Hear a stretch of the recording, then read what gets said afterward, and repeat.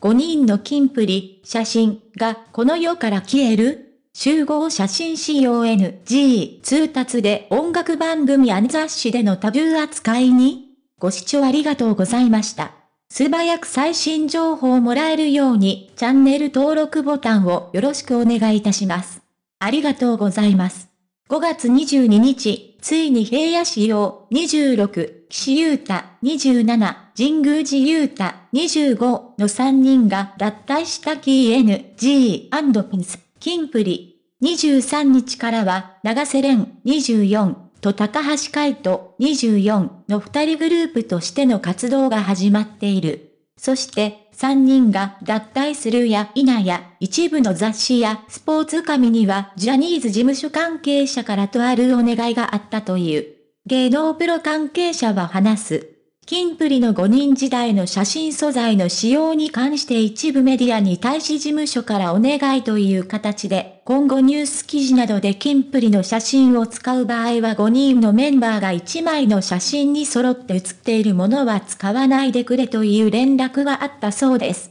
各メンバー1人ずつの写真の使用は問題なし、長瀬と高橋が一緒に写っている写真も OK。ただし、抜けた3人と残った2人が同時に写っているものは避けるということのようです。過去にも、ジャニーズ事務所から退場したメンバーの写真などが使えなくなることは何度もあった。それこそ SMAP が典型的な例です。解散後、基本的に5人が揃っている写真や映像を見かけることはなかった。テレビ局などが自主規制をかけていたこともあったでしょうが、ジャニーズからのお願いの影響が背後にあったのも事実。また、キャトタンなどは、田口淳之介37や田中清37が薬物での逮捕歴があることから、昔の映像なんて地上並みで見ることすらありません。キンプリに対してだけ写真使用が厳しいというわけではないんです。全能。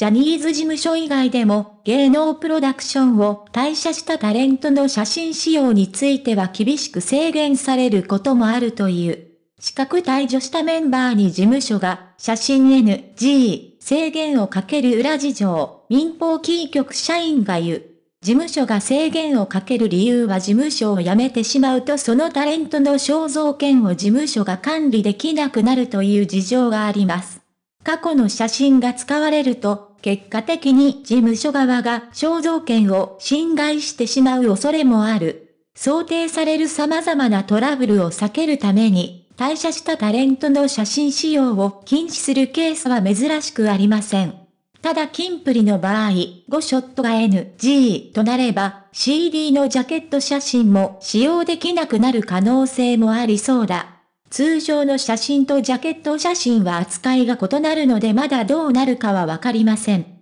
ただ、ジャニーズ事務所と付き合いの深いメディアなどは、気をやって過去の CD ジャケットも使用しないという判断もあり得る。同様に、音楽番組での映像使用についても、控えるケースが増えてくる可能性は高い。いわゆる忖度というやつですが、ジャニーズサイドが要請しなくても、メディア側が独自判断で使用を控えるケースは多いんです。キンプリについても、5人時代の映像使用は多重となるかもしれません。全能。多数のメディアから5人時代のキンプリの姿が消える未来も起こり得るというわけだ。再び、平野、岸、神宮寺、長瀬、高橋という5人の姿を見ることを願っているファンにとって、これほど酷なことはないのかもしれない。近く、連会頑張れ。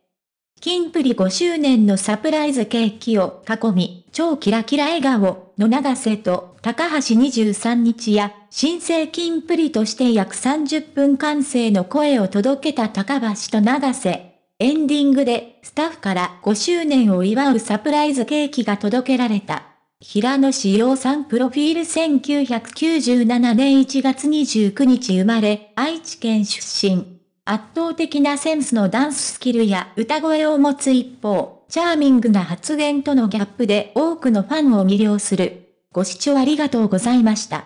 これからも一緒に応援していきましょうね。チャンネル登録をよろしくお願いいたします。